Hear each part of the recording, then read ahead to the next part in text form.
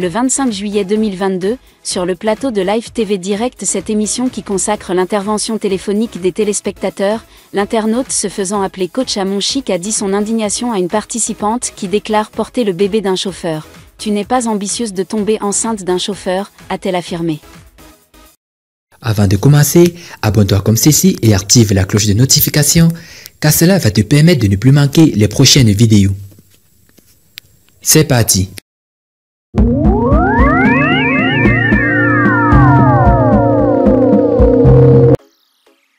Il s'agit d'une grande abonnée des réseaux sociaux, réputée pour ses conseils parfois déconcertants à l'endroit de la jeunesse, notamment les jeunes filles.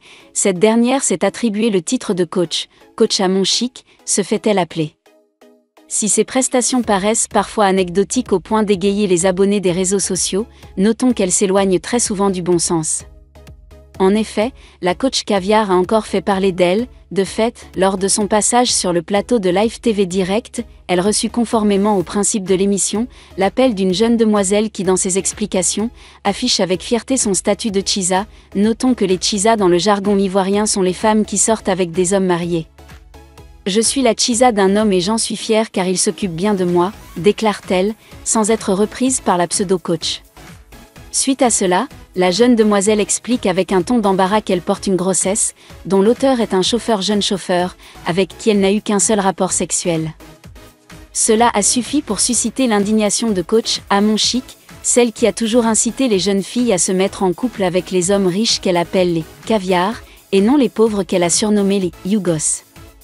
Tu as donné un coup à un chauffeur, interroge-t-elle, en instant sur le mot chauffeur, comme pour marquer son indignation devant cette histoire qu'elle qualifie de rocambolesque.